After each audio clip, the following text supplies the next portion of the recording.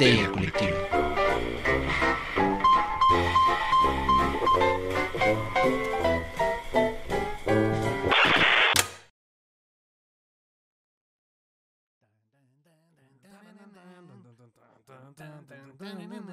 Frabato el mago es un mago genial.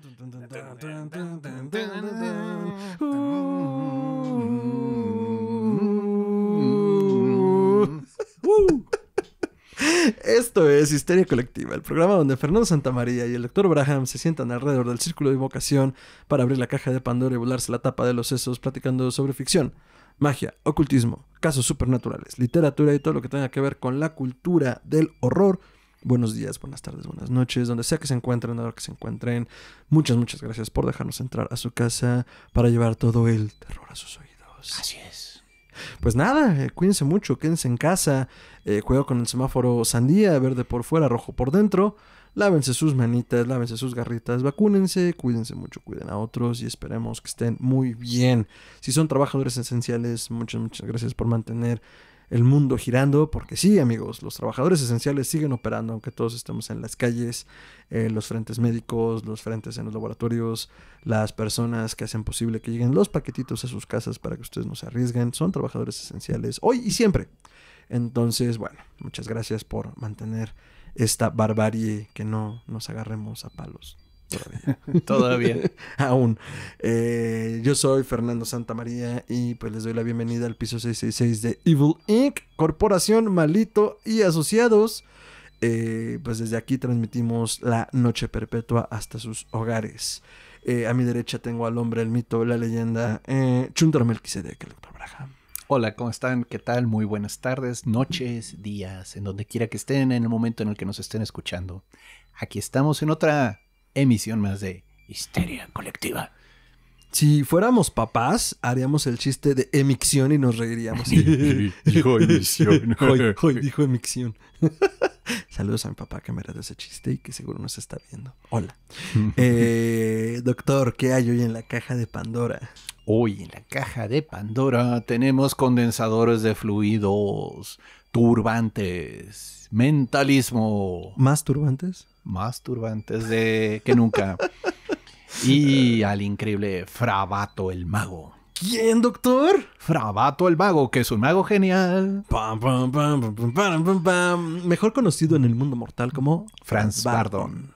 Disculpen, este chiste de la música de Frabato ¿Es viejo? Es viejo. Y local. Desde que estábamos en Psicofonías hubo una pequeña cápsula basada en el relato de Frabato el mago. Saludos a Eric y Nina. Saludos allá. Son artífices de este tema también. Y pues hubo un momento en el que la cancioncita llegó para quedarse. Entonces no podemos aquí, Fer y yo, comenzar a hablar de Franz Bardon sin acordarnos del tema musical de Frabato el mago. Es más, agradezcan que en la cortinilla no está sonando Frabato el Mago, porque si pudiera lo haría. Bueno, bueno, pero comencemos, ¿no? ¿Quién cangrejos es Frabato el Mago? Pues bueno, es un mago Prieto. en aprietos, como nos gusta luego hablar de ellos. No, bueno, eh, Pero es que es el verdadero mago Prieto en aprietos. Híjole, sí, a pocos les ha ido más difícil que a él. ¿eh? Y vaya, que hemos visto casos interesantes. Este señor, pues le tocó la diversión de vivir en la Alemania nazi. Uy, sí, divertidísimo. Sí, divertidísimo. No mames. Entonces, bueno, es eh, un ocultista, mago, eh, practicante de, pues, ahora sí que disciplinas esotéricas, maestro, publicó varios libros eh, que mucha gente no entiende. Entendemos. ¿Entendemos? ok, bueno, se incluye aquí Fer. Sí, la neta. O sea, tiene lo suyito, ya iremos hablando de eso, pero Y ujú, raro. bueno, pues este le tocó vivir en plena Segunda Guerra Mundial, que fue un periodo muy difícil para los practicantes de las ciencias esotéricas. En general, y bueno, el asunto con Bardon es que oh, yo juraba que había sido, y lo mencioné en otros programas, que pues por la onda mágica y por la onda de... eh, por la onda de, de negarse a cooperar con el régimen y Perdón. que había sido homosexual, pero ya me desmintió aquí el doctor que no lo era. No. Eh, O sea, era judío y pues también, por supuesto, que era lo suficiente para mandarte a un campo de concentración. Pero el asunto es que eh, Frabato el Mago es un apodo que él se da a través de una novelización justo de todas estas peripecias, peripecias que vive durante la Alemania de la guerra, ¿no? Entonces, a través de esa ficcionalización y creo que en muchos sentidos catarsis que hace en su novela, no es la novela mejor traducida No. y me parece que tampoco es la novela mejor escrita. No. Pero te da una dimensión de la vida. O sea, ahora sí que era un ejercicio de él, de puta, tengo que sacarlo de alguna forma. Voy a novelizarlo y pues voy a hacerme un personaje. De hecho, su personaje, porque él también tenía, vaya, hizo muchas cosas y entre ellas estuvo trabajando como mago de escenario, vaya, hacía trucos de mentalismo en un teatro. El nombre que usó era Frabato. Frabato, de hecho, es, una, es un juego de abreviación de letras basadas en su nombre. Franz, Fra, Bardon, Ba. Y Teo deriva del nombre del pueblo en el que él creció. Por eso se llamaba Frabato. Entonces él de una manera nada pues original, vamos a decirlo así, luego novelizó en unos pequeños cuentos este, sus peripecias enfrentándose a logias oscuras de magos ceremoniales. Con rayos mortales. Sí, condensadores de fluidos letales. Te juro que cuando empezó el programa yo escuché condensador de flujo en mi cabeza y fue como... mm, No, ese es de volver futuro. está menos divertido lo de fluidos. Sí, bueno, es que depende qué tipo de fluidos, Fer. Es que eso ibas entre Alistair Crowley y sus pastelitos de luz y Bardon y sus condensadores de fluidos y los cabotas cargando sigilos, yo ya no sé qué pensar. Oh, sí, o luego los que...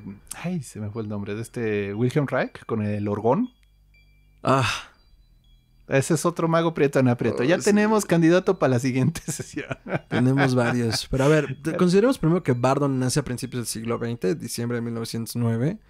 Eh, algo que llaman sus discípulos y su hijo vino hacia la luz o hacia la iluminación, lo que sea que eso signifique en 1923, como eso a los 14 años. Oh, sí, es todo un chisme. Lo que pasa, y bueno, eh, pues desde muy joven, porque así se usaba a principios del siglo XX, chicos, aprecien su primaria y su secundaria. Porque si hubieras crecido en principios del siglo XX, te habrían mandado a trabajar a la fábrica. Entonces, Sí, el pues sí. papá de Franz era, pues bueno, era una persona que se dedicaba a todos estos temas de la industria textil. Era eh, teósofo, había conocido a varios de los autores de la teosofía. Recordemos, Europa a finales del siglo XX estaba rodeado de teosofía, de ondas tipo OTO y diferentes órdenes esotéricas, ¿no? Entonces eh, ya había mucho interés en estos temas. El papá de Bardon andaba en esas ondas, pero pues el niño, Bardon, llega al mundo y este, pues ya que cumple una edad, el papá lo manda a trabajar a la fábrica de textiles, así literal. Y estando en la fábrica, Bardon dice que recibió una iluminación espiritual.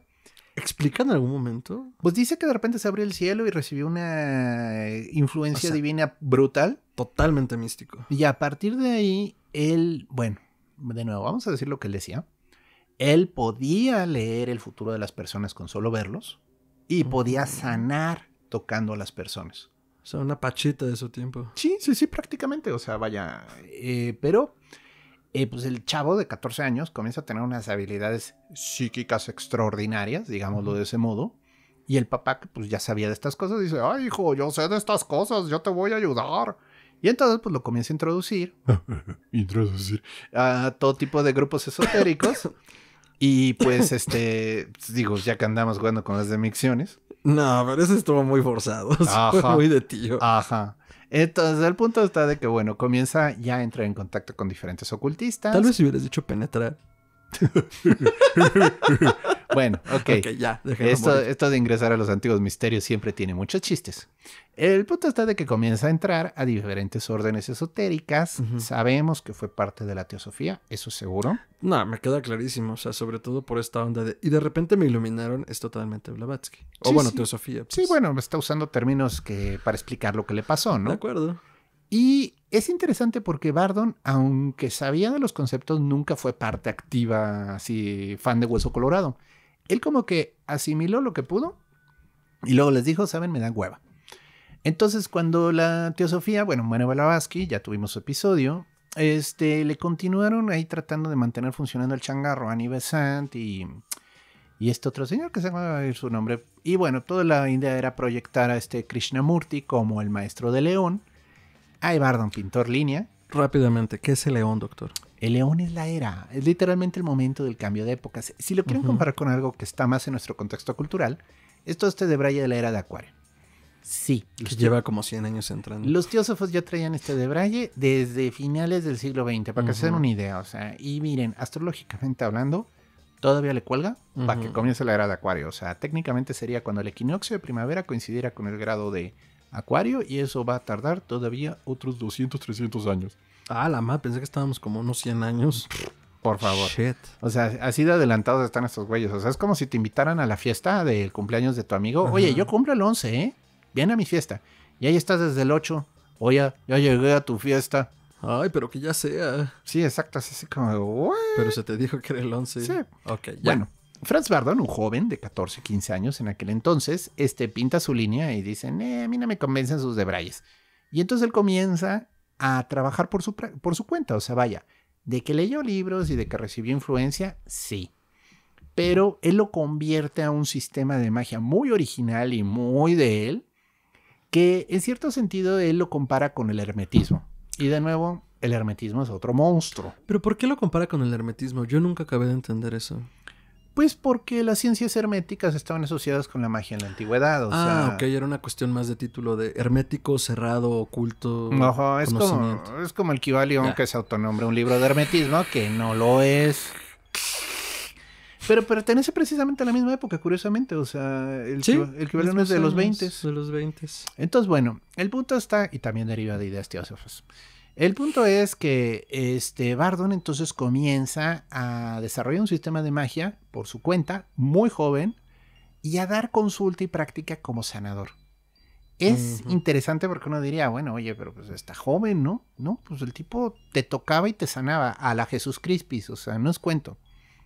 Hay una anécdota muy interesante, él estaba paseándose por el centro de Europa Ujú. Eh, pues, visitando gente y conociendo esoteristas. O sea, de nuevo, él no, eh, no era un ermitaño, él trataba de conocer grupos. No, y además, pues sí, se dedicó al mentalismo de este concepto del tour y de las conexiones, lo entendía bastante bien, ¿no? Sí, entonces este, eh, visita a este médico en eh, la campiña francesa y la hija del doctor había nacido con un defecto en la pierna que la había dejado paralítica de esa pierna. Tenía que caminar apoyándose en un bastón. La historia va de que Bardon la tocó y la sanó. Y digo, la hija de un doctor. Sí, que dices. eh, Que bueno, es que ahorita que mencioné Pachita me reí tantito porque he estado. Estamos preparando algo sobre Pachita y Jacobo Gringer- Greenberg. Y también Leyendas Legendarias sacó un programa que me pas- pareció bastante bien documentado. Y el asunto con todas estas curaciones milagrosas y que me digas ahorita que Bardon se desarrolló como mentalista de escenario, sí me pone a pensar que dices, a ver dónde están los hilos, ¿no? Pues parece que no había hilos de nuevo. Esto nos está llegando de los discípulos que escribieron su historia. Entonces, podemos hablar de los evangelios también si quieren para comparar, pero bueno, el punto es... Este es mi punto. Llega a ese grado de. Si decides creerle al discípulo que platicó con el hijo de Bardon, que su hijo también fue su discípulo. Sí, sí. Si decides creer, pasó esto. Pero bueno, entonces. el punto está que Bardon a partir de los 20... Bueno, sana a esta persona y el médico queda muy agradecido con él y le ofrece que puede usar su casa de campo cuantas veces quiera sin costo, ¿no? O sea, literalmente aquí están las llaves, úsela. O sea, vaya, porque pues tampoco fue sane a mi hija, o sea, pero él así de buena onda lo sanó, ¿no? Como que chingón. Qué chingón, señor, estoy agradecido. Digo, mi hija ya puede caminar. Pues eso siempre es chido, ¿no? No, y además en una época donde alguien con esas dolencias no tenía tratamiento y su vida iba a ser extremadamente precaria. Digo, si ahora todavía hay muchísimas complicaciones. En ese momento, más. Te puedes morir de una herida. Sí. Todavía. Entonces, pues sí. Pues sí. Entonces, en este periodo, eh, él comienza una carrera como mago de escenario. Se hacía llamar Frabato, lo cual es divertido porque luego hizo sus historias de Frabato el mago. Esto es más o menos en los 30. Ujú. hay, hay que entender que era una época complicada en Europa Central. Ya había pasado la Primera Guerra Mundial. Estaban en esta época de eh, la República de Weimar, en este, no sé si lo pronuncié bien, discúlpenme, en este, Alemania, que fue un periodo de, pues, eh, se puede decir que de mucha decadencia. o sea, No, y es que acaba de pasar algo que se conoció como el concierto de Europa, el concierto de las naciones, porque cuando Otto von Bismarck, Alemania otra vez, qué extraño, y los lleva hacia una guerra europea, se reconfigura toda la geografía Digo, no cae en ese momento todavía el Imperio Otomano, cae después, ya entrado el siglo XX. Pero entendamos que esos viejos imperios, España, Inglaterra, Turquía, bueno, Imperio Turco Otomano, este, el Imperio Austrohúngaro, porque de hecho todavía había trazas del imperio. Si no me equivoco, este, Bardon formalmente nace todavía cuando existe el Imperio Austrohúngaro. Este, que ya luego conocimos como todas estas naciones de los Balcanes. O sea, se hace un desmadre, un despepite económico y pues lleva mucha miseria a principios del siglo XX. Eh, Sí, hubo una crisis económica muy profunda. Además, Posguerra. este, el punto es, por ejemplo, Bardon nació en lo que se considera la República Checa, Checoslovaquia, pero según Alemania era parte de ellos. O sea, estamos en esa época de que los mapas no estaban bien definidos y que todo dependía quién estaba a cargo. Bueno, Rusia todavía se sigue peleando Crimea. Bueno, ese es el punto, ¿no? Estamos hablando de eh, de esos lugares con memoria larga. Y, eh, y bueno, fue una época de mucha, se dice, decadencia, en el sentido de que hubo un gran avance artístico, pero sí había mucho libertinaje, había clubs nocturnos de alta, así de hasta altas horas de la noche.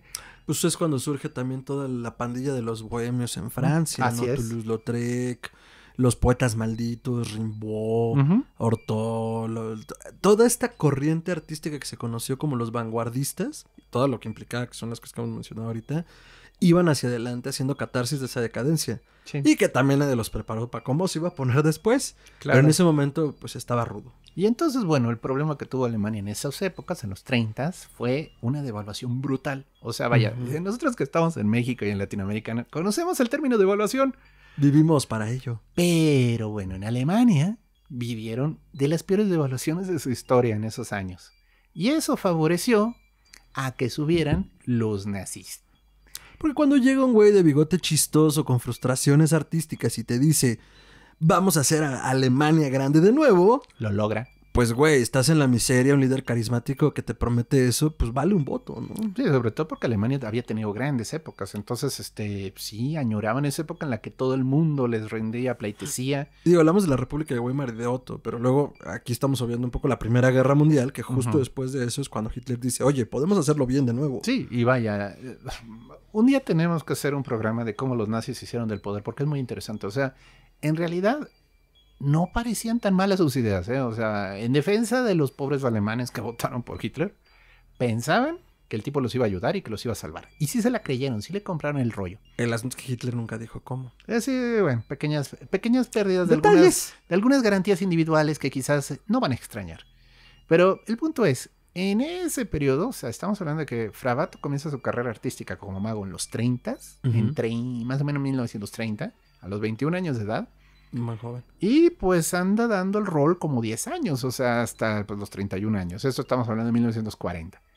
Hitler comienza a gobernar Alemania en el 33. O Ujú. sea, ya comienzan los problemas, pero todavía muy leves. O sea, la Segunda Guerra Mundial está ya hasta más No. adelante. Y recordemos cómo sube al poder, o sea, se le vota así, pero después de que hay un incendio y un ataque a, a la Cancillería alemana. Pero todo parece ser indicado que fue provocado por ellos Por mismos. supuesto. o sea, Entonces, es- oh, estamos en crisis. ¿Cómo es Alguien con poder debería subir. ¿cómo es posible que permitan? Porque le echó la culpa a los comunistas, si recuerdo bien.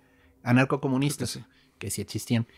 Y este, pero pues él exageró un poquito para que pareciera una verdadera catástrofe. Yo sé, yo sé que esta historia parece que ya pasó y yo sé que la historia tiende a repetirse. Capitolio. Sí, casi, casi. Pero bueno, el punto es, Hitler comienza a crecer en poder. Bardon ya tenía una carrera prolífica como mago de escenario. Es interesante hablar un poquito de lo que él hacía, porque dices, ok, pero que sacaba sombreros de, de chisteras o qué hacía. Conejos de chisteras. Sí, conejos de chisteras. Que dijiste sombreros de chisteras. Bueno, eso sería también más interesante. O sea, yo sí iría a ver un mago que sacara sombreros. Pero Y bueno. que me aviente uno. Pero el punto es, este, Bardon lo que hacía es esto. Él subía al escenario, se echaba un sermoncito así como de cura de misa, de los poderes de la mente, de lo que podía hacer uno con la capacidad mental, de qué pasaría si un hombre desarrollara el 100% de su capacidad mental. Morgan Freeman asintiendo. Sí, y entonces, este, luego hacía experimentos de lo que se le llama mentalismo. ¿Por qué es importante entender esto? Porque, bueno, no hacía trucos de prestidigitación. El señor realmente te leía. Entonces pedía algún objeto del público, se lo ponía aquí en la frente, obviamente ponía los ojos en blanco porque es parte del show. Y te decía, usted, usted viene de una tierra lejana. Y bueno, le leía ¿Cómo lo supos? Sí, o sea, le, le leía, le decía, porque me acaba de entregar su pasaporte. Porque huele a curry. Pero bueno, el punto está de que Bardon leía a las personas y dicen que era impresionante. O sea, que te podía ver, ver los chones etéricos y decirte en qué reencarnación ibas, ¿no?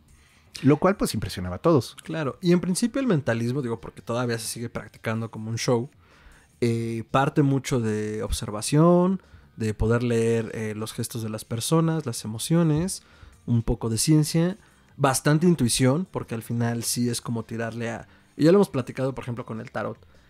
Pasan cosas raras. Oh, O sea, no voy a decir, porque además ni siquiera es científico, o sea, la intuición no podemos medirla. Pasan cosas raras cuando lees el tarot. Entonces, yo me imagino que para alguien que practica con seriedad el, el mentalismo a partir de la lectura de la persona, han de pasar cosas raras. Oh, sí. Y luego hacía experimentos de hipnotismo, que en aquel entonces le llama magnetismo. Era el nombre antiguo que tenía. Estaba tan de moda el magnetismo. Se intoxicó tanta gente en nombre del magnetismo. Oh, sí. Entonces Bardon, eh, obviamente algún este voluntario, le hacía pases magnéticos y pues ya saben, el truco de que como tabla, de que se podían sentar en él, de que cosas así. Fuerza ¿no? sobrehumana. Sí, sí, sí. Pero el punto está de que, bueno, Bardon nunca fue un mago así de grandes este, trucos de ilusionismo ni de prestidigitación. Él realmente usaba sus talentos mágicos para convencer y promover pues, todo el arte de la pues del desarrollo de las capacidades mentales, del desarrollo a través de la disciplina y la concentración, o sea, Ujú. ese tipo de cosas que, vaya, Europa ya conocía la teosofía, ya entendía un poco la idea del yoga y de esas prácticas, o sea, no es que las practicaran, pero sabían que en la India había locos que hacían eso y que lograban poderes especiales. Entonces, bueno, eso era el acto de Franz Bardon. Eso lo hacía de vez en cuando, en la noche. Y luego, pues ya simplemente pues, su práctica del día era atender gente, porque él de veras se dedicaba a ayudar gente en enfermedades. No es que iba y tirante y, señor, ¿le puedo quitar esa cojera? No, o sea, él tenía un consultorio, tenía una práctica regular. Y van a quitara la cojera. ¿no? Exacto, él practicaba mucho lo que se le llama espagiria. Espagiria es un tipo de alquimia. Entonces, él extraía, en teoría, los componentes más puros de las plantas, o sea, estamos hablando de una onda espiritual, no solo el, el ingrediente X, sino era, extraía el concepto del espíritu y de ese modo hacía remedios que ayudaban a la gente a sanar. Los alquimistas en la antigüedad tenían mucho esa, fama, esa reputación, que podían hacer medicinas que la gente pues sanaba con ellas. Entonces Bardon, apoyado en sus capacidades y apoyado en la práctica de la espagiria, sanó a mucha gente. O al menos así van los rumores, porque de nuevo tenemos que creer lo que cuentan sus discípulos. Entonces vamos a decir que sí. Es como, mira, un día existió un güey llamado Sócrates que dijo esto. Oye. Mm, Entonces, bueno, cuando Bardon tenía 29 años, estamos hablando del 38, pues los nazis invaden Checoslovaquia. Ahora sí, ya comenzó la expansión nazi, ¿no? A punto de la Segunda Guerra Mundial. O sea, porque, aunque parezca broma, cuando los nazis comenzaron a invadir Polonia, Checoslovaquia, los otros países no sabían cómo reaccionar. Tardaron un poquito. Y lo más probable es que si Hitler se hubiera quedado nada más ahí, igual y no hubieran armado tanto pedo. No, probablemente no. Pero cuando vieron que el señor no tenía llenadera y que además este, ya estaba planeando junto con los italianos invadir África y los japoneses ya también se querían repartir el pastel en Asia, dijeron, esto tiene que pararse. O sea, de nuevo, no les importaba Checoslovaquia, pero pues ya que vieron que los señores no se iban a contentar con eso, Sabían que iba a escalar. y entonces se convirtió en una guerra mundial. Pero a Bardon le tocó vivirla en el peor momento. O sea, Una guerra europea hasta que entra Estados Unidos. eh, bueno, ¿y que Japón no cuenta? Una guerra europea hasta que entra Estados Unidos. Culero. Pero bueno, el punto es que Bardon le tocó vivir la invasión nazi cuando a nadie le importaban los nazis. O sea, ese es el punto. O sea, cuando le tenían miedo y decían, mejor no los molestes porque igual y pasan de largo, ¿no? Entonces, bueno, pues llegan los nazis, invaden Checoslovaquia, imponen su régimen, no les dieron chance de nada. O sea, los pobres habitantes de ahí tuvieron que tragarse todos los abusos por parte de los nazis. Incluso comienzan a incendiar sinagogas y comienzan a armar desmadre, ¿no? Entonces, bueno, esto es Bardon ya de 29, 30 años. Y entonces pasa la anécdota de anécdotas de Bardon. Los nazis lo arrestan. Sí, a ver, todo esto que dice Gerardo invaden en el 38 Checoslovaquia, ese mismo año queman la sinagoga de- del pueblo de Bardon, de Opava, y eh, en 1940 eh, le toca ir al campo de concentración por varias razones. Ah, no, pero esperemos, porque va al campo. Por eso. Lo arrestan Ajá. porque pues, los nazis sabían que era un ocultista, que era un mago, que sabía cosas. Y obviamente por su paso por Europa fueron reclutando, secuestrando y matando a los ocultistas, buscando que cooperaran o, o si se negaban, los mataban. Sí, o- Porque si hay una búsqueda, ya hicimos un programa de eso, habría que hacer una segunda parte, sí. de ocultismo nazi, sí había una búsqueda ruda de- del gobierno nazi por hacerse del poder en todas sus formas. Sí, o copelas o cuello, como decían. Le iba a decir, pero se me escapó. Entonces, bueno, el punto es que dice la leyenda, porque esta la contaba Bardon, o sea, vamos a creerle a Bardon. Que Que sí creo que totalmente no tendría por qué mentir. Pues está un poco exagerada la anécdota, pero vamos a Ajá, decir que sí. Pero ¿qué pasó? Entonces, bueno, de hecho dice Bardon que lo arrestan porque uno de sus discípulos, aunque Bardon le ordenó firmemente, quema todos los apuntes que te he dado de cábala y de conocimiento esotérico, el discípulo no se animó a quemarlos. Entonces arrestan al discípulo, ven los documentos de cábala y de esoterismo y dicen, A ver, a ver, a ver, a ver. ¿quién es tu maestro? ¿no? Y entonces arrestan a Bardon junto con el discípulo. Y aquí es donde es la anécdota simpática, porque pues dicen que lo llevaron ante Adolfo Hitler. Ni más ni menos el gran Führer. Ah, no me acuerdo de esa parte. Sí, lo llevan ante el Führer, o sea, a la oficina del Führer. Y bueno, y el Führer le dice, ¿vas a trabajar para el Tercer Reich para hacerlo invencible? A lo que Bardon dice, no. Y dice, Bardon, que Hitler no estaba acostumbrado a que la gente le dijera que no. Ah, ¿tú crees? Bueno, excepto de la Escuela de Arte de Berlín. Sí, sí. Yo supongo que la quemó, o sea, ¿qué, qué habrá hecho Hitler con esa escuela? O sea, no sé. Bueno, no sé si la de Arte de Berlín me lo saqué un poco del culo, pero eh, hay que ver eso. Yo eso nunca lo he investigado. Yo Y si ustedes saben, pónganlo acá abajo. esa, esa es la clase de venganzas de gente chiquita que no perdona. o sea. Justo en la semana hablaba con, con Russo, a quien le mandamos un fuerte abrazo y un saludo. Y decía, es que la gente con dinero, y aquí agregaría con poder, no le digas esas cosas. O sea, porque no sabes lo que pueden hacer, ¿no? O sea, de, ah, ahora no. Y eh, jurábamos que Elon Musk, justo alguien le había dicho seguramente en algún momento de su vida, así el Chile tú no vas a ir al espacio, güey. Ah, ¿no? Y Pues bueno, sí, prácticamente. Entonces, así se me hace lo de Hitler. Sí, sí. Bueno, el punto es, dice Bardon que Hitler hizo tremendo berrinche de ¡Nein, nein, nein, nein!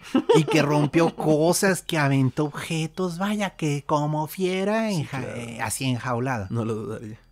Y lo envió a que lo torturaran. Entonces estuvo bajo la amable mano de las torturadoras nazis, que vaya, para eso sí eran muy buenos los señores, y los estuvieron flagelando a él y a su discípulo. Y lo flagelaron con garfios, o sea, vaya, de estos látigos que tienen ganchito para... Sí, sí, eh, dice, o sea, Bardon decía que había perdido sensibilidad en la espalda a consecuencia de eso. Que, Mm, Antes le quedó espalda. pues sí. Entonces, bueno, al pobre, está el pobre de Bardon y su discípulo así, Ajá. en el más puro estilo, ¿crees acaso que estoy en un lecho de flores? Y el Chale. discípulo pues no aguanta el dolor de las torturas y entonces dice Bardon que a pesar de que le había dicho que no lo hiciera, se voltea y ve a los torturadores nazis y les hace ¡Abarajame la mañana! pase mágico que Bardon le, le había dicho, nunca lo uses. Y los torturadores se quedaron paralizados, así les comenzó a dar el... La fiaca. El telele. Y bueno, los guardias que estaban afuera de la celda lo mataron a balazos. Sí, bueno, porque muchos pases mágicos, pero ¿has probado el pase mágico de un baño de plomo? Exacto, o sea, un poquito de píldoras de plomo siempre quitan cualquier hechizo mágico enviado contra ti. Verga. Entonces, pues Bardon tuvo que ver a su discípulo morir. ¿Tú crees que Bardon se lo hubiera prohibido más por el hecho de, pues nunca uses esto? O, güey, si lo usas nos van a plomear. Puede ser, Bardon tenía un poquito de visión del futuro. O sea, en cierto sentido, de repente prevenía cómo iban a acabar las cosas. Bueno, pero a ver, no hacía falta que, güey, si los paralizas nos van a plomear. No hacía falta la visión del futuro. ah, no, bueno. Era, concentración. era sentido común de Bardon el no hagas nada. Güey, no pero, hagas nada porque, o sea, nos van a matar en el acto. Pues sí, el punto es, bueno, el discípulo se murió a sus pies. Chale. Lo llevaron entre Hitler por segunda vez. Y Hitler le dijo, muy bien, ahora sí va a cooperar. Y pues Bardon le dijo, no. Tu acento es una combinación de varios villanos. Sí, sí, sí. Oh, señor Bond. Qué gusto verlo de nuevo. peludo. Pero bueno, el punto es, este, pues no. Hitler se mega requente enchiló y hizo lo único que podía hacer, mandarle un campo de concentración. Que de nuevo, pudo haberlo matado. O sea, en realidad si la anécdota fuera cierta y le dices que no al Führer dos veces, pues igual en ese instante saca la pistola y te da un balazo en la cabeza. Ahora, O sea, la pregunta también sería, si, si fue cierto esto, ¿por qué no lo mató?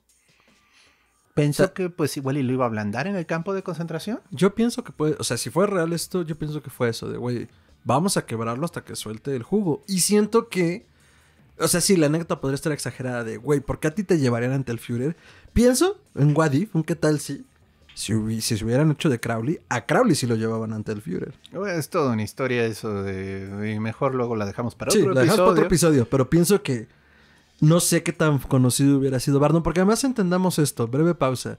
La obra de Bardon realmente tiene muy poco que se conoce se están sacando a bote pronto como lo, lo- lo que sea que tengan los guardianes. O sea, como, ah, güey, pues el hijo tiene esto, vamos a publicarlo.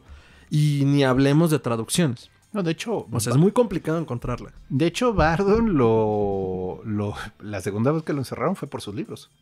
O sea, él no había publicado nada. Él daba clases de una manera privada y te hacía... Tendría sus notas. No, sí, te hacía leer cosas. Curiosamente te hacía leer Crowley. Ahora sí que hablando de obras que él recomendaba, digo, esto es contemporáneo, no me consta si en ese momento él daba a Crowley a leer, pero gente que estudió con él después les daba a leer a Crowley y les daba a leer mm, mm, mm, mm, mm, Siete Cartas Herméticas, que es un buen libro. ¿Ese de quién es? Es igual de un europeo que se autonombró hermético, pero no es mal libro, ¿eh? O sea, No lo conocía. es como el valieron en serio, vamos a dejarlo en sí. Pero mi punto es entonces, no, ajá, no sé qué tan conocido era en la época, ¿no? Sí, no, no, no soy consciente de Pues ello. se hizo de fama por, eh, bueno, ahora sí que vamos a comenzar a entrar en este terreno donde ya la anécdota se vuelve eh, ficción. Ujú. Bardon tiene un cuento que se llama Frabato el Mago, donde narra todo su enfrentamiento y encontronazo terrible contra una logia de magos negros que operaban en Praga. ¿Quién sabe cuál era? La nombra como una logia negra. Pero todo parece que sí fue cierto. O sea, dentro de toda la historia y lo dramatizado que Bardon la narra, parece que sí se echó un quien vive mágico con los eh, hermanos oscuros. Porque son cosas que sí pasan. Eh, que a veces pasa. Y entonces, este, eh, no, es que todo esto viene por- porque entre sus objetos personales se encontraron los objetos de la logia negra, ya que después de que murió. Ah. No es tan ficción al parecer. No, o sea, yo pensando en que son cosas que sí pasan, y Bardon lo narra, seguro sucedió, pero no sabía que había evidencia física. Entonces parece ser, y de nuevo esto ya son chismes, chismes de los chismes, que algunos de los miembros de esta logia negra luego formaron parte del círculo interno de ocultistas de Crowley. No, no, de, de Hitler, de Hitler. Ah, ok, fue. Perdón, perdón, raro. es que me quedé con esa historia de Crowley y Hitler, pero no. O sea, que vaya, esoteristas alemanes eran parte de esta logia oscura de Praga y cuando se eleva el nazismo y comenzaron a trabajar para Hitler, parece que le soltaron el chisme. Oh, existe un mago muy poderoso que se llama Frabato. Entonces, ah, ah, ok, es que eso ya me ayuda a mí a conectar los puntos. Si fuera eso, tendría entonces ya sentido que Bardon fuera para ante Hitler. Oye, estos cabrones me han hablado de ti. Exacto. ¿Qué pedo? ¿Jalas o te pandeas? Oh, señor Bardon, su reputación lo precede. Gran momento. Pero bueno, el punto es, el pobre de Bardon acaba dando en el campo de concentración de Buchenwald en la ciudad de Leipzig. Hasta eso tuvo un poquito de suerte Bardon y no lo mandaron a los verdaderos campos de exterminio como es Dachau. Como es Auschwitz, O sea, ahí sí, Birkenau. que eran sentencias de muerte, ¿no? Porque además, ah, perdón, termina. Buchenwald tenía el tema de que, bueno, cerca había yacimientos Eso. de barro y servían para hacer ladrillos. la Entonces, industria. literalmente era mano de obra ah, obligatoria, pero pues había una razón por la cual valía la pena hacer las cosas. Entonces, este, en vez de estar exterminando gente porque no sabes dónde ponerlos cuando siguen llegando los trenes, aquí los ponen en labor forzada a preparar ladrillos y a hacer este tipo de cosas que servían para la in- máquina de guerra nazi. O sea, vaya, había una razón detrás de. El lugar no era un campo de verano, ¿eh?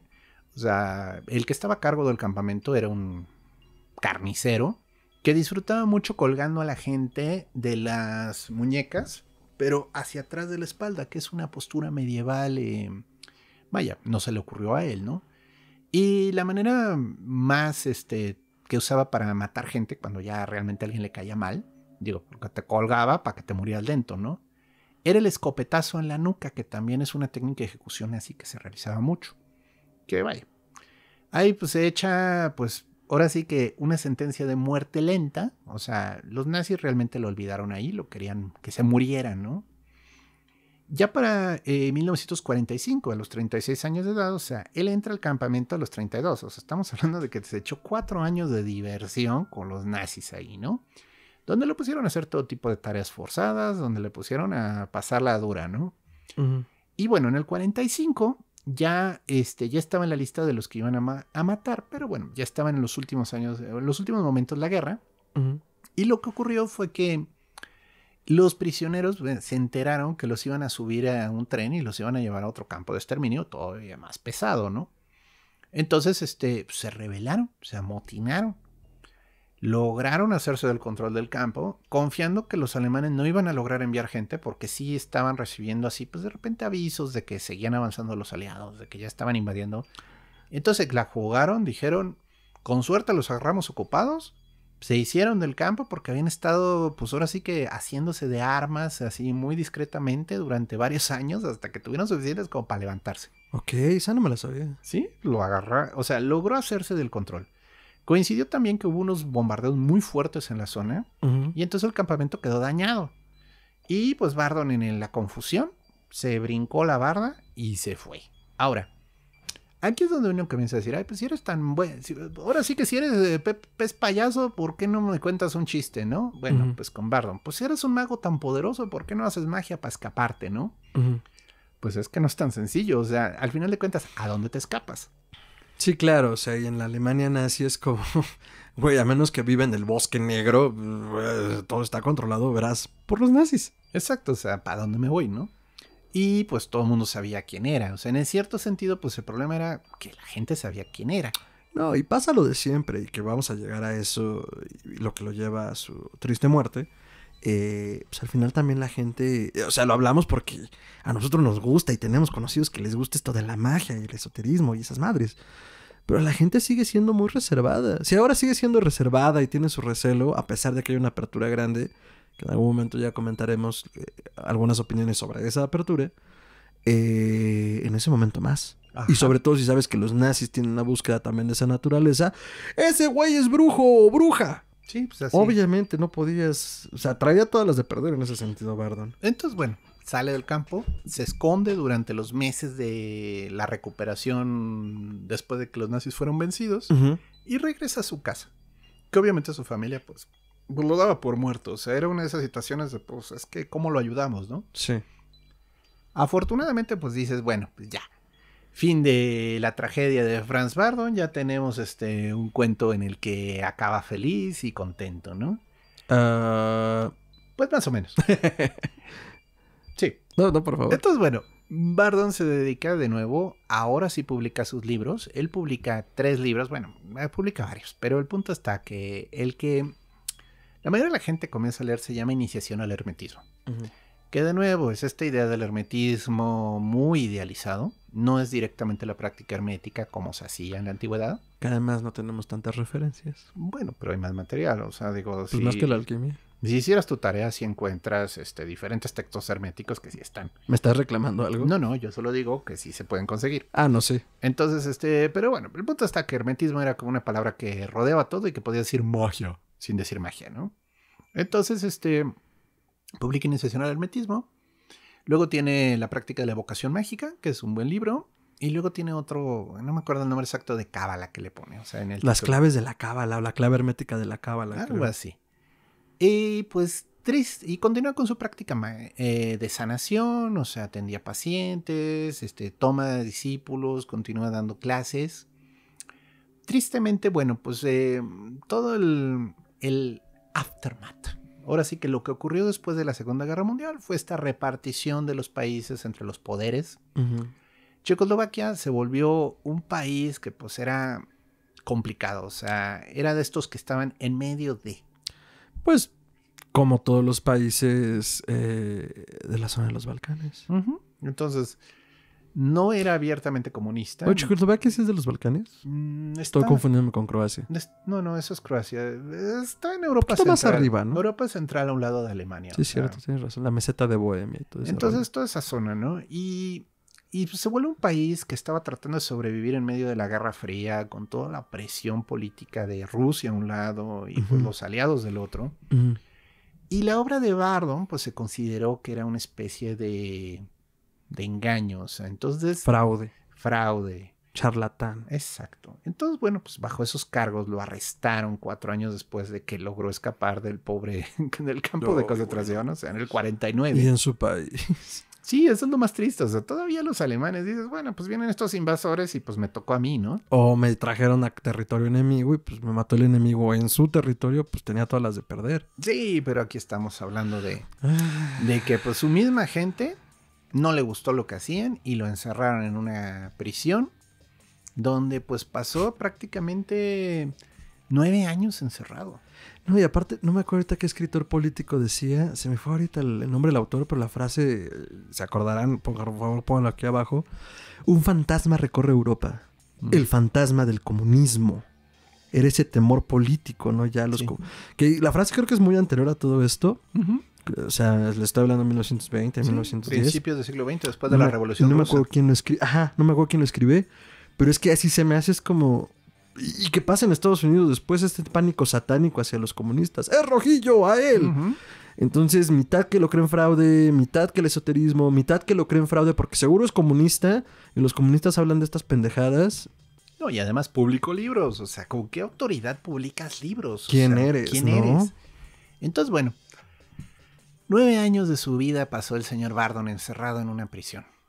Y pues todo parece indicar que lo golpeaban y lo torturaban constantemente. ¿Sabemos en qué prisión? Creo que no, ¿verdad? No tenemos ese dato. No, pero es una prisión ahí mismo en Checoslovaquia. O sea, el pobre ya ahora sí que no se fue muy lejos de su casa, pero pues estuvo encerrado nueve años, ¿no? O sea, a los 49. Sí, su familia pues trató de ayudarlo, pero pues el gobierno de que estaba en curso, pues prácticamente era un gobierno totalitario, o sea, eran eh, no podías eh, apelar, no podías este ahora sí que controlarlo, ¿no?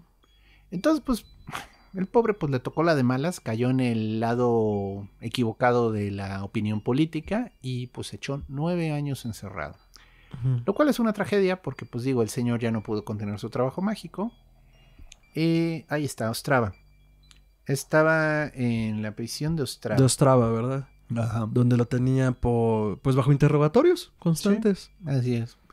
Y entonces, bueno, pues el señor, pues ahora sí que ya muere y pues su, le entregan las cenizas a la familia. O sea, ni siquiera fue así como para, para darles el cuerpo para que pudieran este, enterrarlo bien. No, pues simplemente aquí está su pariente, pasen a recoger las cenizas. Sí, y de hecho hace, o sea, él estaba en Ostrava, pero después lo transfirieron a la- al, al hospital prisión de Brno, donde murió el 10 de julio del 58 por una inflamación del páncreas, que era lo, pues una pancreatitis. Que es lo que decíamos antes de entrar al aire, ¿no? Me decías que justo la pancreatitis puede desarrollarse pues por golpizas brutales. Pues digo, es una inflamación. Entonces tú dices, pues, ¿cómo te puedes inflamar el páncreas? Pues a punta de golpes, yo Sí, diría, es una manera. Si no tienes una enfermedad directa que afecta el páncreas, pues a punta de madrazos, sí es cierto. Ahora, este, también, pues, la mala alimentación. O sea, porque si consideras por un instante que, pues, el páncreas es parte del sistema digestivo y que tiene sus funciones, pues también, si te están dando basura de comer, pues eventualmente puedes desarrollar una dolencia de esa zona, ¿no? Entonces, bueno, pues, Perdón, es que eh, acá traemos nuestras notas, estaba revisando otra cosa. Aquí no dice que lo hayan quemado. sí, lo cremaron. Mira, dice, después de su muerte, ningún miembro de su familia le, se le permitió que lo viera. En Ostrava, donde el entierro tomó lugar, su cuerpo fue puesto en un eh, ataúd de acero Mm. y solo la familia y sus amigos cercanos les- se les permitió atender al funeral. Mira, es una versión encontrada de lo que leí por otro lado, pero vaya. Ok, entonces tenemos dos versiones. Sí, Pienso que esta podría ser la, la, la, la kosher, la, la legítima, porque lo escribe el hijo y el discípulo. El hijo Lumir. A ver si ustedes saben algo más. Lumir, su hijo se llama Lumir. Sí. Y bueno, pues el punto está de que pues, lo realmente no lo acusaron nunca de nada, ¿eh? Que eso es lo importante de entender. No hubo juicio. Solo lo encerraron en base a que pues era un fraude. Pero nunca hubo un proceso penal, nunca se trató de, de demostrar nada. Así de brutal era el régimen que había en ese entonces en Ahora, ese país. los alcances que tenía Bardon son interesantes porque de hecho no se imprimió ningún obituario ni vengan a la ceremonia de entierro de, de Franz Bardon porque la policía del momento temía que se reuniera demasiada gente y que hubiera disturbios a partir de la ceremonia de Pues es- entierro de es que, es que había ayudado a mucha gente, o sea, también. O sea, por lo. O sea, vaya, no dudo que cobrara por sus consultas, pero pues si el señor era efectivo en lo que hacía y te ayudaba, pues yo no veo por qué la gente no lo, no lo estimaría, ¿no? Y el problema de cuando ya te está controlando un gobierno de esa manera tan fuerte. Eh, pues es que cualquier excusa produce un motín, o sea, ya cuando te traen así de que a todos los están arrestando, que todos los están inventando cargos, Claro, o sea, murió en una presión, seguro murió apaleado por el pinche gobierno represor, ¿no? Sí, no, de hecho viene por ahí en eh, las mismas notas, este, uno de los guardias le dice, sí sabes que a tu padre lo torturaban diario, ¿no? Uno de los guardias le dice a Lumir. Sí. Ah, sí, no claro. mames. Sí, sí. No, O sea, no sabía. Al señor le fue mal en los últimos años de su vida y vaya, estuvo en un campo de concentración. Habla un poquito de lo difícil que fue para él los últimos años. Ahora, ¿qué queda de Bardon? O sea, el legado de él es, pues, de un mago, una persona que practicaba las ciencias ocultas. Publicó libros, lo cual nos deja cierto testimonio de su enseñanza, lo cual es interesante porque, bueno, de las cosas que más llaman la atención cuando uno lo lee, es que su sistema es muy propio. O sea, hay quien incluso dice que es un sistema que corre contrario a las prácticas de órdenes como la aurora dorada y el esoterismo inglés que se derivó. bueno, la hora dorada. Esos güeyes que... Sí, bueno, pero el punto está de que eh, si andas en esas ondas, pues el sistema de Bardon es como nadar en otra dirección. O sea, y mucha gente dice que, de hecho, te recomiendan, si tú estás en una orden de estas, que tengas cuidado con el trabajo de Bardon, porque algunos de los ejercicios sí te hacen ir en otras direcciones. O sea, y pues vaya, dediques tiempo y esfuerzo a lograr ciertas cosas que no vienen tan en el programa de estudios de tu grupo y ese te quita tiempo y esfuerzo. O sea, Ah, ya te entendí. es como si estuvieras estudiando una carrera, ¿no? Sí, ahora sí que... so- o sea, si vas a escoger algo, pues trata de enfocarte. Ajá, o sea, es como si estuvieras estudiando, no sé, historia. Y de repente, pues te interesara, pues estudiar además, este, ingeniería. Pues, obviamente, pues los académicos de historia te van a decir, oye, estás distrayendo, te estás perdiendo tiempo en otra dirección. Que vaya, esto es esoterismo, a final de cuentas no se estaba perdiendo en ninguna dirección. Pero pues, yo sí lle- llegué a recibir ese comentario de varios miembros cuando yo estaba en las reuniones en Tucson. Este. Vaya, no lo, no lo he ocultado, lo confirmo. Yo soy miembro de una orden esotérica, que es la OTO. Y en algunos momentos sí llegué a oír comentarios encontrados sobre la obra de Bardon. Vaya, en ningún momento es no, no la estudies. O sea, es más, oye, es su propio sistema, da resultados, pero si tienes como que dedicarle tiempo y esfuerzo y pues te puede distraer de algunas otras prácticas que estás este, Haciendo, ¿no? haciendo, que eso es más el tema, ¿no? Ahora, este, su sistema es interesante, se ha seguido publicando cosas de él, porque esto es, esto es lo, lo, lo que ha llamado la atención. Miren, él publicó sus libros en, pues bueno, tantito antes de su muerte, ¿no? Estamos hablando de los 50. Los libros tuvieron difusión, se publicaron, pero es hasta hace poco, o sea, les estoy hablando 2000, 2005, que discípulos de él comenzaron a publicar cuadernos de trabajo de Bardon. O sea, ya no era únicamente el material impreso, sino ya estamos hablando del material privado, de lo que Bardon le daba a sus alumnos para que trabajaran y para que estudiaran. Entonces el sistema ya está teniendo más coherencia, porque el libro es un poquito desencajado. O sea, explica conceptos, te da algunos ejercicios ¿El de como... iniciación? Sí. Explica conceptos, te da algunos ejercicios, como para que te des cuenta de que sí pasan cosas, pero te quedas con la duda y luego qué. El libro de la evocación mágica está interesante, pero parte de las cosas que a Bardon todo el mundo le reclamaba es que tiene unos espíritus ahí que nadie conoce. Esto es lo divertido. Ya con estos trabajos de, de discípulos posteriores, lo que se vio es que Bardon alteró los nombres de los espíritus y son los mismos espíritus que vienen de Agripa. Ah. O sea, la inteligencia de Marte sigue siendo Bartzabel, por poner uno que me sé de memoria. Y entonces, este, pero Bardon lo llama diferente. Tienes que usar una, un poquito de criptografía, eso de que cambias la Sí, A por la caja Z. de César. este, Ajá. ok. Y ya que usas ese código, porque te- lo se salió en este documento, Sí, de codificación. ya que usas esa decodificación, todos los nombres de los espíritus que pone Barton de todas las esferas Son los de Agrippa. son los de Agrippa. Ah, mira. O sea, Nice. era literalmente una protección. O sea, Barton como que quiso, no quiso revelar todo en su libro. No, y recordemos esto, cuando fue publicado esto, pues en una plena persecución, que el comentario que, que hemos hecho creo que sí en otros programas, o no lo sé, tal vez este es el primero. Híjole, sí, hay una época liberal y neopagana, si quieren llamarla así, pero la persecución sigue siendo real. Y ni siquiera hablemos solo de lo mágico, sino de pensar distinto. Entonces, esta idea que, digo, no es una guerra, no, no, Alemania no quiere alzarse en el poder hoy, espero, no otra vez. Pero, pues, pensemos en que hay que ser cuidadosos de repente con quién compartimos ciertas cosas por una cuestión de no sabemos quién puede estar escuchando. Eso sigue siendo muy real. Y digo, rompiendo ahorita un poco esta diatriba mágica, pues de cualquier cosa. O sea, ideas que sean distintas al poder establecido o a alguien que no le parezca en el poder. Y, híjole, pues solo hay que ser discretos. Vamos a dejarlo más sencillo. Estamos un paso una cacería de brujas. O sea, en serio.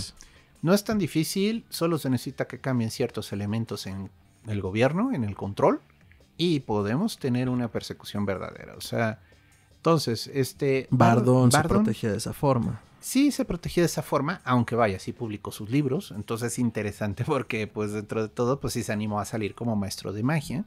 Y eso le costó la vida. O sea, literalmente lo encerraron por ello. Eh, ahora, eh, todo el chisme de la logia mágica de Praga, pues miren, no estamos seguros de ello. Viene la novela Frabato el Mago. Está muy cotorra la novela en el sentido de que Frabato es esta figura que es como un maestro de las artes ocultas. Pero vaya, no es el doctor extraño, o sea, no anda resolviendo problemas. Sin embargo, eh, toda la historia parte de que se le acercaron unos miembros de la logia y le ofrecieron entrar en ella. Y como él dijo que no, no le perdonaron esa afrenta. No, y además en Frabato el mago lo plantea y de ahí también se nota mucho eh, la escuela teosófica que traía. Pues él habla que obviamente no iba a pertenecer, y no solo no iba a pertenecer, sino que los iba a combatir, porque él siendo el miembro de la gran logia blanca, De la luz. de la luz, eh, pues no podía permitirlo, ¿no? Y habla de varias ensoñaciones que tiene, eh, donde habla de un gran libro de oro que existe en este espacio astral o etéreo, como quieran llamarlo. Y bueno, entonces pues ahí también revela mucho de su educación esotérica, teosófica, ¿no? Sí, sí. Entonces, bueno, pues él narra con lujo de detalle esta logia malévola, Ujú. que tenía 99 miembros Ah, sí, cierto. y 3 grados. O sea, había 33 miembros en cada grado. Pero el miembro número 100 era el diablo. Eso nunca lo había notado, lo de los números, 33 ¿Sí? miembros en cada grado. Guiño, guiño, francmasones. Mm, Quizás, quizás, quizás.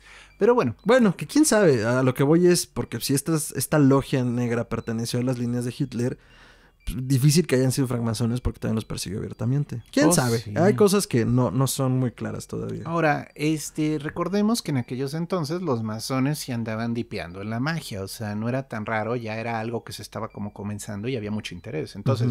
Una logia masónica que comenzó a incursionar en prácticas mágicas no está tan rara de pensarse. Y que a lo mejor, porque además no todos los masones son cortados por la misma tijera como en cualquier parte y cualquier organización, quizás sí hubo un grupo alineado a Hitler que dijo, güey, nos gusta cómo piensas. Trabajamos para ti, madre.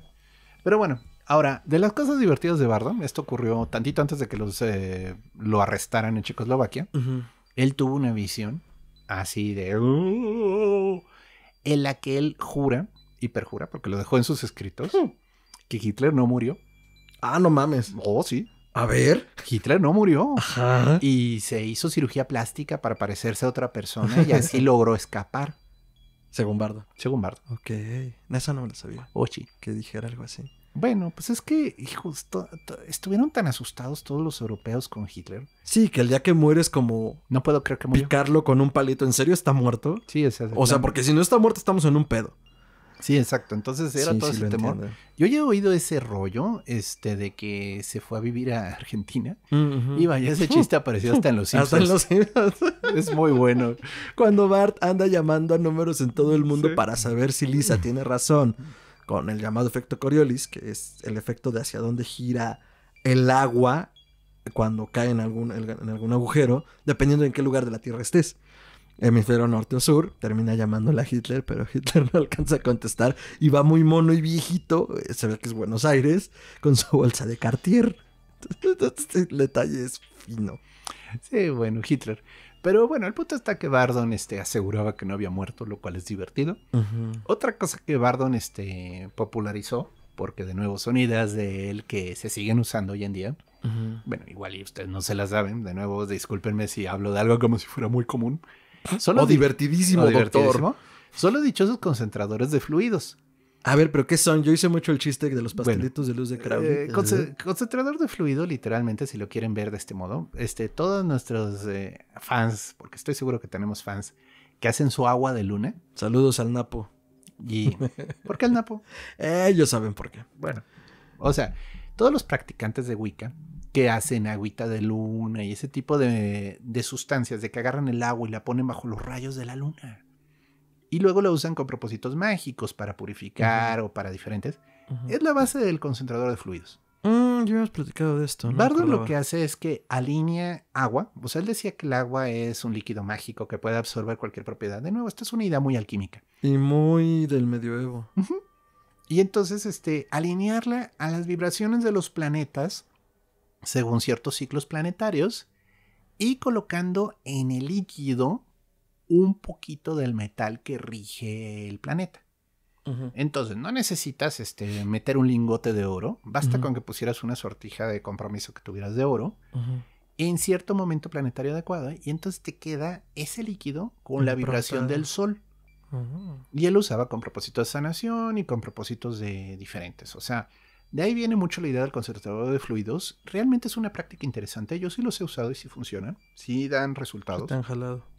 Entonces, este, es interesante porque, vaya, dentro de todo lo que Bardon decía, sí hay evidencia de que no estaba tan perdido. Entonces, este, a mí se me hace uno de esos autores que es interesante conocer, porque pues él por su propio lado pues va descubriendo cosas y dando respuestas de por qué las cosas son de cierto modo, de otro modo. Lo va sistematizando. Ahora, sí estaba muy embarrado de este rollo teosófico del bien contra el mal y de la luz contra la oscuridad, sí. Pero vaya, era como él, ahora sí que como él jugaba, ¿no?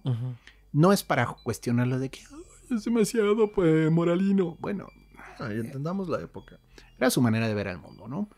Este, y pues a mí se me hace un autor interesante. Él mantuvo mucha correspondencia activa con diferentes ocultistas y esoteristas. O sea, vaya, no es una isla, Bardon conoció a mucha gente y trabajó, pues, vaya mandando cartas con mucha gente. Dice que se carteaba con Crowley, ¿no? Todo parece indicar que sí mantuvo cierta correspondencia, o sea, pero el de nuevo, era normal en esa época mandarse cartitas, o sea, no era tan raro. Hoy, pues se nos hace hasta extraño, ¿no? Que llegue el cartero y te deja algo que no sea un paquete o cuentas. Pero este, pero era muy normal que la gente se escribiera. Claro. de comunicación formal. Sí, pues ahorita es Instagram o Telegram. Bendita inmediatez, la neta. Sí, pero vaya, esta gente, pues, vaya, mandaba cartas y tres meses después les llegaba la respuesta, ¿no? Entonces, bueno, ¿es un personaje interesante? Sí. ¿Se presta mucho cotorreo? Sí, muchísimo. Porque Frabato el mago es un... mago genial. Es un mago genial. es un despedorro. O sea, es muy divertido toda la onda esotérica de Frabato. Porque precisamente los malos lo atacan con concentradores de fluidos y él y un rayo mortal a distancia. Era, eh, ahí la nombra, creo que no, me, no me citen porque no me acuerdo bien, pero sí usa tres letras nada más. No sé si es la logia XYZ o AZF. FGOC. FGOC. Ay, güey, no lo traía muy cruzado entonces. Y ya. Y, pues es, cagado. Y de hecho. y el eh, rayo mortal era el tetáfono. No mames, que así se llamaba, no me acuerdo. Porque usaba vibraciones teta. Sí, es cierto, usaba rayos teta o vibraciones teta. Sí. Y les digo, la traducción es malísima. O sea, yo me acuerdo que el único PDF que se encontraba hasta hace no tanto era, era un escaneo de un libro. O sea, eran, hojas escaneadas. Creo que ya hay una versión mucho más amigable. Y insisto, no creo que sea la novela mejor escrita, pero en los tiempos de Psicofonías Podcast, cuando adaptamos esta pequeña capsulita como de 15 minutos, a mí me tocó escoger los fragmentos porque yo conocía la obra. Y según yo, cuando los escogí, porque fueron como tres fragmentos cortos, dije, güey, pues sí, más o menos es lo que le da consistencia sin tener que adaptar todo. cuando me lo mandan de vuelta ya producido, yo lo escucho y no tiene ni pies ni cabeza. Y se fue como, güey, yo te, yo, yo, escogí esto. Sí, sí, güey, pues fue lo que me mandaste. No tenía ningún sentido. O sea, y hay un, hay un, hay un fragmento donde habla, creo que está de regreso en Praga, se está quedando en un hotel. Y de repente él está en su pedo leyendo algo bien a toda madre y se aparece una nube encima de él y como, verga, ¿qué es esto? Y hacíamos mucho el pinche cotorro de que era como, oh sí, hola, mostrador, hay una nube en mi cuarto.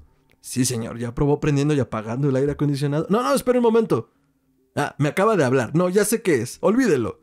Y el güey habla de que pues una pinche manifestación ahí le habló. Y Frabato, tienes que salvar al mundo de la logia negra. Es como un cómic pulp mal hecho simpático. Pero pues hablemos que es un...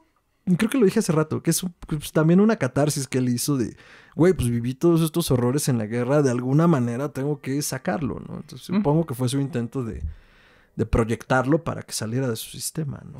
Sí, y vaya, varios de sus eh, discípulos este, cuentan proezas impresionantes de Frabato, que podía alterar el clima y que realmente hacía cosas, así manifestaciones reales de poder mágico, ¿no? O sea, uno- como uno se imagina que debería ser un mago, Ajá, que salen chispitas. Pues Él- él sí sacaba chispitas. pues él sí sacaba chispas y relámpagos. Entonces, este, pues sí podrías decir que, bueno, quizás está muy endulzado, está muy elevada la leyenda de él, porque pues, sus discípulos de veras lo idolatraban. Pero algo hacía para que existan estas leyendas. Algo. Algo sí sucedía. Algo de verdad, porque digo, pues de Blavatsky solo hay chismes de ciertos psiquismos. La mesa que gira. La mesa que giraba.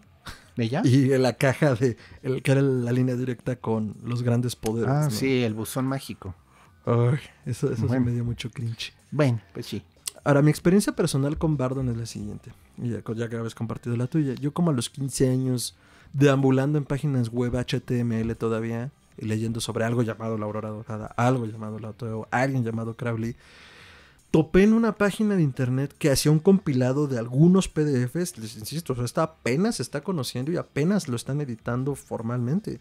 Pero entonces alguien se dio la tarea de hacer los PDFs de estos libros.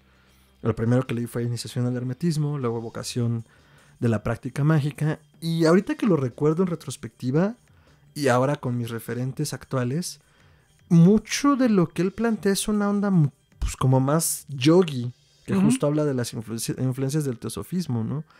Era mucho como cuida tu alimentación, cuida tu respiración, quédate a tu cuerpo, sé consciente. El primer consejo que recuerdo que se me quedó muy grabado fue como de, a ver, güey, cuando estés comiendo, estás comiendo. O sea, no dediques tu, tu, tu, tu momento a otra tarea, no leas el periódico y ahora sería como suelta el celular. Estás comiendo y el proceso de... eh, el procesamiento que hace tu cuerpo de los alimentos, hazte consciente de él. Cómo comes esta fruta o este otro alimento y cómo está entrando y cómo eso se transforma en energía vital para ti. Y bueno, eh, ah, tal vez por eso era más sano en ese tiempo. Sí, de Porque sí hecho- hubo una influencia y sí lo estudié como lo poco que entendía y al menos esa práctica de la alimentación la seguí muy al pie de la letra pues y algo bien. pasa. No, y de hecho él era muy buen cocinero. O sea, uno diría, bueno, pues Sí, como se... traía recetas esa sí, como, como se dedicaba mucho a la meditación, uno diría, no, pues era vegetariano. No, No, o sea, iba como en ese trip, pero no era vegetarianismo. No, pero era como esa onda de sé consciente de tu cuerpo y no, las y, cosas. y guisaba muy rico y al parecer le daba mucha importancia a la buena alimentación. Van a Sí. ver en las fotos del programa porque el señor sí está rellenito. Sí, de hecho acabo de ver una foto, y eres la de Wikipedia, donde se ve un poco más delgado y era una foto que nunca había visto. Entonces sí, pues así el despedorre con Bardon, eh, incluso las evidencias físicas que existían de la, de la logia negra, pues se las entregan a su familia cuando están entregando su- sus pertenencias. Toda esta onda de la práctica que él tenía también queda registrada de que dice su hijo, mi papá cargaba con talismanes de oro y traía su joyería mágica y era algo que no faltaba, que tampoco se, lo- se los entregan cuando les entregan el cuerpo o los restos del cuerpo. Yo creo que más por el oro que por otra cosa, pero vaya, o sea, definitivamente en el círculo cercano y tal vez no tan cercano conforme hemos ido explorando, eh, Bardon sí, sí era una figura, era un referente. Si no lo conocen, explórenlo. Si lo conocen, cuéntanos su experiencia, porque sería muy interesante ver cómo, cómo llegaron a él y cómo los influenció, porque la verdad es que hasta que conocí a Gerardo y otra pandilla de amigos igual de ñoños, pues no había hablado con nadie más de Bardon. Les digo que yo lo descubrí a los 15 años. Tengo el doble de edad ahorita y era algo que existía en mi cabeza. Es más, alguien una vez me vio las copias porque lo imprimí de iniciación al hermetismo y las leyó. Alguien que también estaba como imbuido en cierto camino espiritual. Así fue como, ¿y esto qué es? Pues lo encontré un día. y, pues, ahí, ahí la llevo, o sea, estoy practicándolo. Ay, deberías de leer budismo. Ya en retrospectiva es como, pues carnal, el güey no estaba muy lejos de las corrientes asiáticas. Tampoco estaba tan mal para que le hicieras el feo. Pero entonces, bueno, eso es Frabato el mago, el mago genial y un poco de su vida y obra, que estoy seguro que en algún otro momento, porque también lo iremos estudiando nosotros un poco más, pues exploraremos eh, más a fondo, doctor. Pues sí. Ahora, de nuevo, vale la pena, ¿eh? O sea, si les interesan estos temas, lean Iniciación al Hermetismo. Es un libro muy amable de entrada. Luego uno puede decir, es que los autores son muy difíciles de entender. Fíjense que Iniciación al Hermetismo, curiosamente, es un libro muy amigable. Es que es muy directo. Y va al punto, o sea, son ejercicios simples de concentración, de atención, y que te hace pensar un poquito, bueno, lo que es estar aquí, ¿no? Sí, Pero- como del aquí y el ahora. Sí, ah, entonces les decía, los tres libros que Fravato siempre le daba a sus alumnos era eh, Magia, el libro 4 de Crowley, pero el capítulo 1 y el 2. Creo que el tercero no se publicó hasta muchos años después. Entonces, el 1 y el 2 les daba las cartas herméticas de este Gormer, así se llama el autor, Ah, Gormer, sí. y este eh, un libro de yoga. O sea, eh, de veras, cómo no estaba tan mal. de veras sí practicaba ciertas disciplinas de, este, de yoga.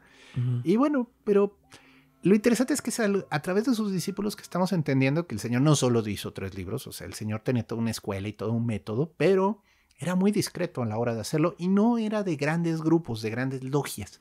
Porque luego la Golden Dawn, pues sí, pues hay gran club, ¿no? Y bueno, otros grupos que también han surgido, pero no, este era como una enseñanza muy personalizada, que no sé cómo lo hacía, porque digo, hoy gracias al Internet puedes hacer este, conversación con todos, pero supongo que su método tenía. Entonces, bueno, uno de esos ocultistas, y bueno, pues cuando hablamos de magos prietos en aprietos, este señor hasta el momento se lleva la corona. Sí, yo creo que es el santo patrono hasta ahorita de los magos prietos en aprietos, porque vaya, qué aprietos. sí estuvo metido en un pedo. eh, a partir de nuestra investigación personal, eh, conocimiento de sus libros, pero igual ahorita la búsqueda para algo más eh, sesudo y con más carnita, el buen doctor encontró un libro llamado Historias de la vida y tiempos de Franz Bardon, eh, de algo que son la serie, la serie de Franz Bardon, es decir, son varios tomos, escrito por Jacob Abramowitz, que te entendí es, fue discípulo, No, este señor entre... fue discípulo del discípulo. Ajá, ajá. Trabajó con uno de los discípulos personales de Bardon, que era el frater MK. Mm, sí, sí, sí, al final lo menciona. No sé exactamente MK por qué queda, pero bueno. Pues Y- ya sabes que a Bardon le encantaban los acrónimos. Eh, Sí, entonces, este, pero el señor, este, desarrolló, bueno, este, estos libros que han estado saliendo ahorita, en el que ya se está tratando de compilar todo lo que Bardon dejó. Son, hasta ahorita creo que son seis tomos de este, cinco y van por el sexto tomo de la obra de Bardon en general. Ujú. Está en inglés, obviamente, discúlpenos. El señor era checoslovaco, o sea, de por sí es difícil que su, se traduzca al inglés. Ahora imagínense al español. Bueno, pero es, es interesante, o sea, dense su vueltita, vale la pena. eh, seguro pueden encontrar PDF, aunque esté mal escaneado. En algún lugar de internet. en algún lugar oscuro y perdido, ar, del internet. Pero vale la pena Iniciación al Hermetismo, se me hace un buen libro de entrada. Sí, iniciación Mm. hermetismo creo que es como el manual, sin ser manual, porque no lo es. Y pues si ya traen un camino recorrido en este, las huestes de la analquimia, eh, pues ya tendrán más referentes que les ayudarán a digerir a Bardon si no lo conocían. Y sí, sí, por favor, acá con los comentarios, este, platiquen, discutan. Solo no se mienten la madre. Y este. Y pues eh, es una gran figura. Y de hecho, muy a propósito, puse aquí enfrente un libro de Bruno. Porque guardan su vida de proporción, porque también Bruno. No sé, creo que el santo patrono de los santos magos prietos en aprietos es Bruno. Híjole, pues sí. Bueno, es que a Bruno solo lo agarraron una vez. Sí, pero con una bastó. Pues este tuvo dos. Ya sé, vamos a hacer esto. De forma civilizada, en los comentarios ustedes decidan quién es el santo patrono hasta ahorita los magos prietos en aprietos, si Bardon o Bruno. Yo me voy por Bruno. Bueno, pues es que so- somos fans de Bruno. O sea, Bardon Sí, nos cae bien, pero sí, está ahí. Sí, sí, yo sé, yo sé. Y bueno, ya, como gente civilizada, resuélvanlo acá abajo. Eh, a ver si les dejamos igual la portada del libro eh, de, de la vida e historia de los tiempos de Bardon. Sí. Para que lo chequen. Y pues nada, doctor, ¿algún comentario de cierre? No, ¿Y pues, redes? este, lean, lean, aprendan. No todo es Crowley, no todo es Matters. Y bueno, y ya para nuestros amigos caotas, no todo es eh, Psiconauta y Livernool, ¿no? Pero bueno, este. Raspando tronos, doctor. Bueno, pues qué te digo. O sea, bien, es que bien, tenemos, nuestra- tenemos nuestras vacas sagradas. O sea, a veces juramos que los maestros que descubrieron el hilo negro y, Y el, pues queso, no. y el queso en hebra son ellos. O sea, y ha habido otras personas que se han esforzado. O sea, claro, hay unos intentos que ni- no quiero ni mencionar, como Samuel aún peor, y gente así, ¿no? Pero bueno, este, me encuentran en redes en Twitter como Chuntaro Melquisedec. Esto es arroba chuntarome. Y ahí, bueno, es donde comparto más mis ideas y ando ahí con mis debrayes, comparto memes de gatitos. Y este, pues pueden encontrarme ahí, dense una vuelta. Ya en Facebook, si solo quieren las notificaciones del programa, bueno, pues tenemos las páginas de Historia Colectiva, pero también tengo una fanpage que es Gerardo Braham. Ahí también pueden eh, suscribirse. Y todo el curso, comentario, aparición, presentación, lo pueden ver ahí. Gracias. Chingón, doctor. A mí me pueden encontrar como arroba mantrasaya, es con él, tiene doble al final. Instagram, Twitter, Facebook, como facebook.com diagonal mantrasaya. También ahí subo todos los comentarios, memes de gatitos, participaciones, colaboraciones. Eh, mucho, mucho horror. A mí me encanta como seguir el cine y festivales y presentaciones de libro. Entonces por ahí se pueden enterar de cosas. Eh, último comentario sobre Bardon. A mí me parece como justo un mago poco explorado porque todo, todo, todo lo que dijimos. Y que siento que muy pronto se va a venir como este rush de... eh, este frenesí de que lo publiquen. Entonces, pues estén atentos y a ver si pronto tenemos algo en español. Y bueno, en Histeria Colectiva Podcast lo pueden encontrar como podcast.histeria en Instagram, en Twitter como podcast histeria, Facebook como facebook.com diagonal podcast histeria. Y pues también pueden seguir, eh, mandar todos sus comentarios y añadiduras a las cajas de comentarios, a nuestras redes o a histeriacolectivapodcast.gmail.com y pues sigan más contenido en historiacolectivapodcast.com, sigan esparciendo la infección. Eh, somos más de 5000 en Spotify. ¡Yay! Y también ya somos más de 1000 en YouTube. Eh, y pues bueno, nada, esto se hace gracias a que a ustedes les encanta escuchar esto y pues gracias, la verdad, gracias por escuchar nuestros desmadres. Eh, y pues nada, doctor, pues nos vemos en la siguiente emisión, audiencia. Eh, hasta entonces. Gracias. El mago es un mago genial. Pam, pam, pam,